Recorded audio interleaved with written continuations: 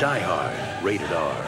Now playing in selected cities, starts Wednesday, July 20th at theaters everywhere.